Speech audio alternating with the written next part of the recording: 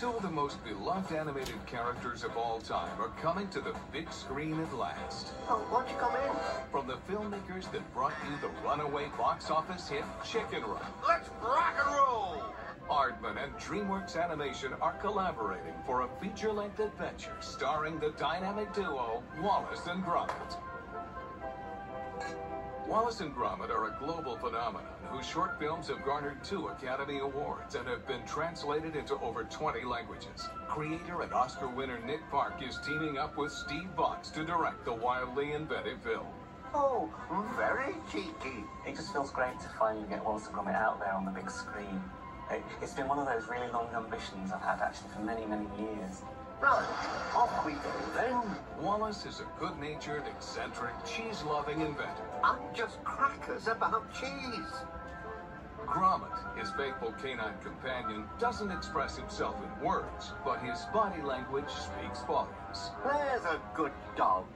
Their adventure begins in a small town in England where the townspeople are preparing for their giant vegetable competition. It's a veritable vegetable paradise. Wallace and Gromit are called into action to investigate reports of a mysterious garden-guzzling beast. I feel we're on the cusp of a real breakthrough, lad. The whole humour of it all is that it's all in this little cosy northern town, and uh, uh, you know, with cups of tea and crackers and things. But it, that it just grows exponentially from there and becomes a kind of a mega adventure. Oh, charming.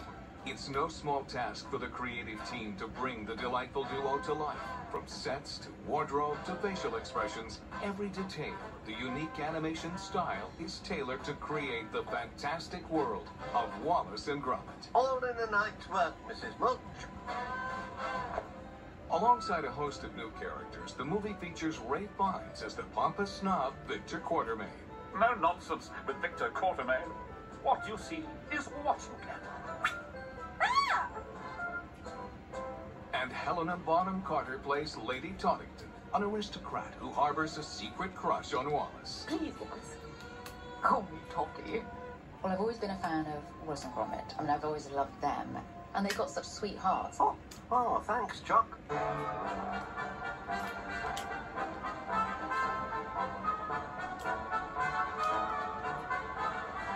You'll go crackers for the inventive world of Wallace and Gromit.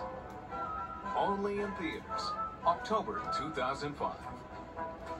Job well done, lad.